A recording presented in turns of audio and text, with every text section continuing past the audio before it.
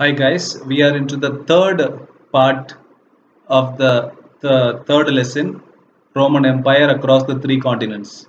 In the first part, we saw two important questions in which uh, we discussed about uh, the emperor, the senate, and the army were the three important key players in the administration of the Roman Empire.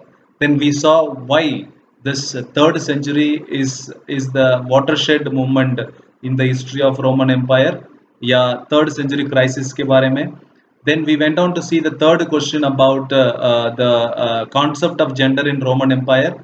The fourth question we saw was the cultural diversity in the Roman Empire. Now we are into the fifth question, the most important question that is how was the economy of the Roman Empire expanded?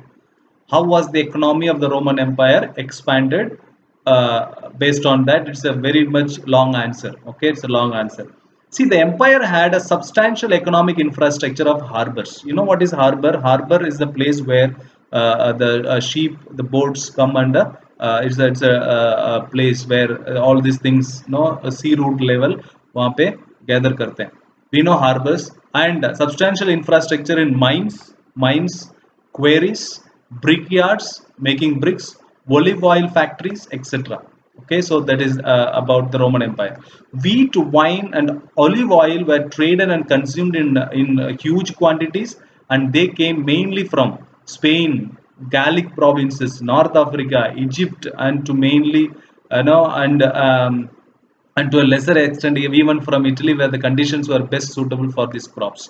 So which was very much uh, available in uh, uh, roman empire is the you know uh, we this these are the things which were traded and consumed okay they they had you know they they you know these areas were very famous for particular thing that we are going to study no wheat के लिए कौन सा area important है wine के लिए कौन सा area बहुत ज़्यादा फ़ेमस है ओलिव ऑयल के लिए कौन सा है तो ये सब हम अभी इस टॉपिक में पढ़ेंगे and this things were traded and consumed in large by the by the people in large quantities so for this purpose, we had you know the Roman Empire had harbors, mines, quarries, uh, and brickyards and olive oil factories and all that, so that this these things can be very easily traded among the people. Though this is the first point.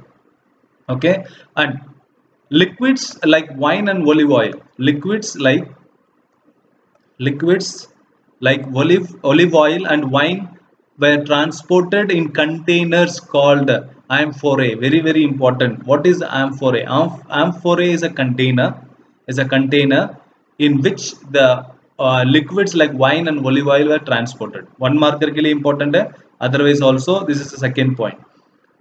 The fragments and the sherds means the pieces of this large number of this uh, uh, survive uh, survive even after so many years okay uh, Monte Testo, uh, Testaccio in Rome is said to contain the remnants of almost uh, 50 million vessels. ये आम्फोरे का जो parts है इस area में Monte Testaccio is a place in Rome जहाँ पे अभी भी उसका parts remnants means parts the fragments वहाँ मिलते हैं uh, हमको वहाँ मिलते हैं and it has been possible for the archaeologist to reconstruct the the price the precise shapes of this containers वो आर्कियोलॉजिस्ट ये फ्रैगमेंट्स को देखे उसका साइज़ कितना बड़ा हो सकता है? And tell us that what they carried size देख के हमें पता चलता है कि उसमें हम क्या कैरी कर, वो लोग क्या कैरी करते थे। And exactly where they were made by examining the clay of the content clay by know कहाँ बनाता, बनाते थे ये वेसल को? वो उस क्ले को स्टडी करने से क्ले कंटेंट को। And matching the finds with clay pits throughout the Mediterranean so, they are going to know, by this the archaeologists are studying okay they are able to exactly find out the shape of it with the shape they are able to find out what they carried in it and we know exactly the, with the clay content वो ये भी पता कर रही कहाँ पे ये बनाया जाता था and with the you know different types of clays throughout the Mediterranean they are studying this this is all about the amphorae the third second point okay so amphorae second point में ये कुछ आपको ये सब explain करना पड़ेगा in this way we can also say that some confidence in Spanish oil to take just for example was the vast commercial enterprise that reached a peak almost 42 uh, 140 to 160 के बीच में in this way we can say that uh, no Spanish olive oil to take for example was the vast commercial enterprise so this Spanish olive oil was the very famous olive oil which had you know dominated the business for enterprise matlab business for many years. Now the Spanish olive oil of this period was mainly carried in a container named Dressel 20 ये amphora ये actually it is a it is a amphora it is it is a part of this uh, uh, no the amphora that we studied but its name is Dressel 20 in which Spanish olive oil, okay, very famous olive oil, Spanish olive oil was carried. After archaeologists who first established its form. So, uh, Dressel is a person is an archaeologist who established. So this is named after this container is named after an archaeologist called uh, Dressel. Okay. if finds of Dressel 20 were widely scattered across the sides of the Mediterranean, this suggests that Spanish olive oil circulated very widely indeed. So that is very that is a obvious fact. When this Spanish olive oil container इधर उधर आपको circulate मतलब uh, प- पाए जाते हैं, then you are able to understand that you know this was very much uh, circulated among the people. Now by using such evidence, the remains of the amphorae of the different kinds and their distribution maps, archaeologists are able to show that Spanish producers succeeded in capturing markets for olive oil from their Italian counterparts. That so that it means it shows that archaeologists archaeologists are of the fact that uh, the Spanish business people are able to able to convince the market of the uh, uh, Italian counterparts. Uh, they are able to take over the business from the Italian people. So Italian olive oil से best olive oil Spanish olive oil है. कैसे पता चला? क्योंकि the containers are well spread among the Mediterranean areas. That is why uh, there is the competition between the Spanish olive oil and Italian olive oil के बीच में कौन कौन सा olive oil best निकला? Spanish olive oil. This would this would only have happened if Spanish producers supplied a better quality at a lower price. Very very important. अगर ये Spanish producers Italian producers से tough competition दे पाए इसलिए दे पाए क्योंकि वो best quality laser price में देते थे very very important okay in in another words in other words the big landowners from different uh, you know regions competed with each other for the control of the main market for the goods that they produced always there was a competition to control the who would control the market so uh, so far what we have dis- discussed. No first point we discussed about uh, different uh, uh, no places for different uh, uh, products okay? And uh, no and we also saw about the liquid like wine and olive oil transported in, a- in a container called amphorae and uh, no yeah, but with the shape we are able to find out uh, know uh, how it is uh, what things it carried and uh, where it is produced with the help of the clay content. And you know where all it spread and best example best olive oil is spanish olive oil. And it was transported in a container called dressel 20 it is named after an archaeologist called dressel. And if this is found widely across the mediterranean this suggests that uh, spanish olive oil circulated very very widely. And spanish olive oil producers were able to uh, know, uh, uh, capture the markets for olive oil from their Italian counterparts. This happened because the Spanish producers supplied the best, better quality, the better quality olive oil at the lower price. And it is obvious fact that landowners always had a competition to occupy more and more markets for the products that they produced. That's all we discussed. Now, the success of the Spanish olive oil was uh, taken over by the North African producers, olive oil estates. Then it was taken over by later it was North African dominance was broken by the East people. Then later in 5th and 6th century, the South, uh, Asia minor Turkey people, then Syria, Palestine. So olive oil business अलग अलग लोग अलग अलग time पे market को control करते थे ये इतना इसमें लिखा है I don't think so you need to learn all this who to cover first and who to cover later on ये सब आपको याद करने की ज़रूरत नहीं है so last point was that there is a competition for the control of the main markets for the goods that they produce that's enough बाकी आप रीड करना थोड़ा अंडरस्टैंडिंग चाहिए अगर वन मार्कर इसमें से आ जाए तो so you need to read that paragraph okay? Now this uh, no yes the empire included many regions that had a reputation for exceptional fertility like Campania in Italy Sicily the uh, Fayum in Egypt Galilee Byzantium in Tunisia southern Gaul that is Gallia Narbon, uh, Nar uh, Narbonensis then uh, Bayatica, southern Spain, were all among the most densely settled, uh, uh, wealthiest uh, uh, populations in the empire. According to the writers like uh, ये सब आपको याद करने की जरूरत नहीं है but this are the people okay the you know regions included in the Roman empire ये सब वो जो फर्स्ट मैप हमने देखा था उस मैप में सब जगह मेंशनड है इसलिए आप मैप मार्किंग के लिए take this areas and keep no look at that map and match whether where where is Gaul found, where is uh, Biotic, Baetica found, where is Galilee found, no where is uh, uh, no uh, another where Italy, Sicily and Fayum in Egypt? ये सब areas No, कहाँ पे map में थोड़ा uh, ध्यान देना now करना ठीक है writers like to the writers like Strabo and Pliny, these are the two right According to them, these are the areas these areas are very wealthy people the areas are very very wealthy people this best, best kinds of wine came from a place called Campania. Please underline this, very important. The best wine, we have studied about Spanish olive oil, now wine. The best wine came from Campania, Sicily, and uh, no, not Sicily, Sicily and uh, Bys, uh, uh, Byzantium, okay, Byzantium exported large quantities of wheat to Rome. Very important. Wheat कहाँ से आते थे Roman Empire के लिए? From Sicily and Byzantium. Galilee was densely circulated. Every inch of the soil has been cultivated by the by wrote by the historian called Joseph. And Spanish olive oil came mainly from the uh, uh, numerous estates of Fundi along the banks of the river called uh, Gaudal Gaudalguer is the name of the river. So what does it mean? Meaning is this that know, Spanish olive oil came from the mainly the area estates called Fundi. Know, numerous estates. Numerous estates are called as a uh, there is a term for this estates called Fundi, and where it is located along the banks of the river Guadal Guadalquivir. Where is this river Guadalquivir in the southern Spain? If you go back to the go back to the map, you will come to know where is this uh, uh, Guadalquivir is located. You should know this map. Yes, if you see this area Baetica you know uh, is the area there you have a river called Guadalquivir. And you this this is a Gaul and this is you know the area Tunisia is here. Then uh, you have uh, you know the Fayum is here. You see uh, please go through the map again and again. This map is very very important okay?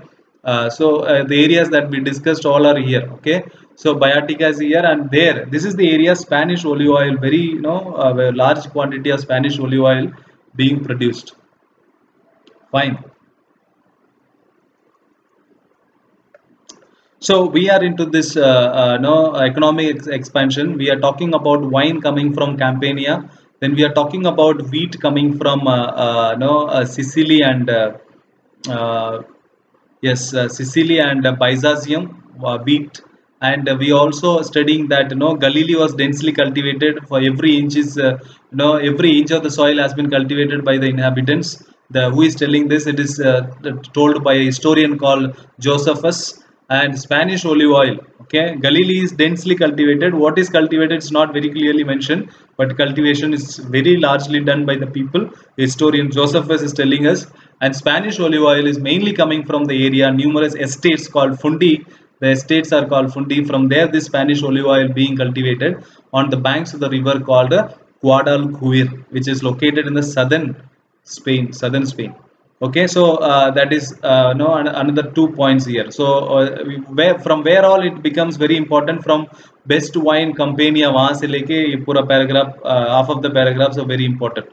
Okay, then on the other hand, large expanses of the Roman territory were in a uh, this yes in a uh, much less advanced state why because there was a uh, development ज़्यादा नहीं होता था कुछ areas में क्योंकि कुछ the, this, this some areas were wide, widespread by the population of uh, transhumans who are these transhumans is the herdsman's regular annual movement between the higher mountain and lower mountains area so there are uh, there are a group of people taking their animals going always in search of new pastoral lands so uh, there is a group of uh, people who are uh, who are pastoralists, and they don't contribute much to the you know economy of the country, economy of the empire. So uh, mainly in a place called Numidia in Al Algeria, these pastoral and semi-nomadic communities were of were often on the move, carrying their own oven-shaped huts, and the oven-shaped hut, uh, huts are called as mapalia with them. Okay, these people used to carry their own huts no wherever they put their tent जहाँ पे tent लगा के वो tent को कहते हैं Mapalia and Roman estates expanded in north Africa also we know the pastures of this communities were drastically reduced and their movements were tightly regulated because this people use to raid over any any community settled community इसलिए इनके ऊपर हमेशा check रखते थे। We have studied this in the last lesson also मारी उसमें हमने देखा था। Even when Spain north much, even even in Spain the north was very much less developed because uh, Celtic speaking peasantry lived in the hilltop villages called uh, Castella. Very very important. See uh, one side we have uh, we have talked about all development. In this paragraph we are talking about not, not less developed areas. Less developed areas are like uh, Numidia in Algeria and where this community uh, no this uh, pastoral community living always on the move and they carry their own uh, uh, huts called Mapalia, Mapalia. And even we have and they, their movements are very much regulated. We have another group of people even in north of spain. South of spain we have uh, well developed people who are cultivating spanish olive oil. But here we have north side we have less developed areas where the peasantry farmers they are Celtic speaking people language Celtic बात Celtic में बात करते हैं and they are farmers and they live in the hill top villages hill top में कितना ज़्यादा ये लोग एग्रीकल्चर कर लेंगे, बहुत कम ही कर पाएँगे and there is for their livelihood purpose should be a subsistence agriculture not no like commercial agriculture तो नहीं कर सकते and it's a subsistent agriculture since it is a subsistent agriculture they are less developed people and they live in small hill top villages called Castella very very important. The term casella fundi and mapalia the terms are very very important my dear. So you have to learn these terms. You will understand the importance of all these terms once the exam takes place. So when we think of the roman empire we should never forget these differences also. There were people are less developed as also living in the roman empire. So we have seen in the economic expansion uh, in short note if i if i revise the whole thing what we discussed now it's all about uh, now what we discussed is uh, different different products in, from different areas coming from. And one best uh, this on wine wine and uh, the liquids are transported in a in a container called amphore. And uh, by this by the shape of this we can tell you know what it carried and uh, by you know by the clay content we can tell you know uh, where it was where it was produced and uh, no it was well spread out mediterranean area and spanish olive oil you know uh, during this 140 to 60 years was area 140 60 years it was it was a commercial business for all the people in uh, uh, roman empire. Sp spanish olive oil was the best thing and carried in a container called Dressel 20 and it's named named after a person archaeologist who first established this kind of form that uh, container form and the ड्रेसल 20 का जो pieces uh, है वो all over the Mediterranean इधर उधर पाए जाते हैं it means it means that the distribution of this Spanish olive oil was much much more and it captured more market than the Italian counterparts and it happened because the Spanish producers were able to supply better quality at a lower price and any any landowner any producer was competing with each other just to have control of the main market for the goods that they produced okay then we went on to discuss uh, discuss about uh, know, the olive oil market from went on from different region to different region like first uh, Sp Sp Spain people then North Africans then it went on to east to eastern people then it went to Turkey to Palestine then Syria all everybody started producing olive oil okay? Everybody started producing olive oil. That is okay. Then in this paragraph we discussed about uh, know the best kinds of wine came from Campania and Sicilia and Byzantium known for wheat and Galilee very densely uh, cultivated area uh, told by a historian called Josephus. And Spanish olive oil mainly in the southern area uh, in numerous estates called Fundi along the river banks of the river called Guadal Guadalquivir and we also discussed about uh, some less developed areas in the Roman Empire like we have uh, no area uh, Numidia in uh, in Algeria where transhumans the pastoral community living always on the move carrying their own huts woven shaped huts called Mapalia and these people are this movement are always you know regulated और उनका community का members को, ये लोग क्या community members को कम करते गए। क्योंकि जितना कम है, उतना ही अच्छा है करके ये uh, एम्परर्स उनके ऊपर ज़्यादा बहुत स्ट्रिक्ट स्ट्रिंजेंट रूल्स लागू करते थे। Then we have another very important community a less developed community. It's a farming community not pastoral community peasantry meaning farming community. Celtic speaking community living in the hilltop villages of uh, north spain and that hilltop villages are called as casella. So it, it is both developed as well as less developed people and regions all together called as a roman empire. This is how the economy of the roman empire developed. This last paragraph we are uh, skipping it not so important so with this, uh, we have completed another very important question that is how was the economy of the Roman Empire expanded during the, the whole uh, uh, rule. So uh, I think uh, that's enough for uh, this session. we have discussed very important question. So till I see you in the next session, all of you please take care. Bye-bye.